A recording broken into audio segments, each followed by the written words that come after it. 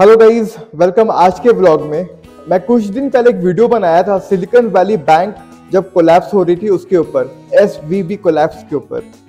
तो उसमें मैंने एक इंपॉर्टेंट बात कही थी आप लोग से कि कुछ और बैंक भी कोलैप्स डेफिनेटली होने वाले हैं। फिर कुछ देर बाद यूएस की सिल्वर गेट बैंक कोलैप्स हुई सिग्नेचर बैंक कोलैप्स हुई क्रेडिट बैंक कोलैप्स हुई स्विस की।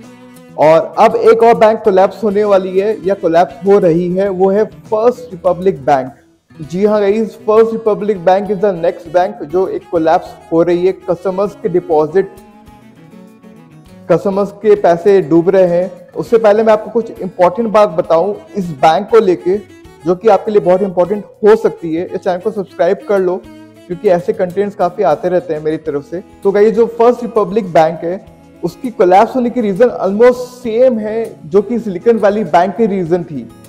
अगर आपने वो वाली वीडियो नहीं देखी होगी तो देख लो, मैं इस कमेंट सेक्शन में लिंक वो लिंक डाल दे रहा हूँ। उससे आपको आइडिया हो जाएगी कि वो बैंक क्यों कोलैप्स हुई थी और ये बैंक भी क्यों कोलैप्स हो रही है। लेकिन कुछ इंपॉर्टेंट बात ये है कि इस बैंक ने कस्टमर्स के डिपॉजिट को अराउंड 20 बिलियन डॉलर यानी कि एक लाख साठ हज़ार कस्टमर्स के डिपॉजिट को फ्री में दे दिया ऑलमोस्ट लोन में।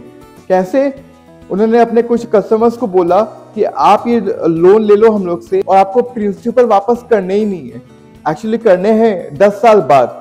और इन, इस दस सालों तक आपको खाली इंटरेस्ट पे करना है दो से तीन परसेंट का। तो आप समझ सकते हो कि कस्टमर्स के डिपॉजिट के साथ उन्होंने कैसे प्ले किया। और इसी का नतीजा है कि आज बैंक कोलैप्स हो रही है लिक्विडिटी क्रंच हो रही है। अनप्रोफेशनलिज्म मिस मैनेजमेंट एक बड़ी इशू है इस बैंक के अंदर या बोल दो काफ़ी बैंकों के अंदर।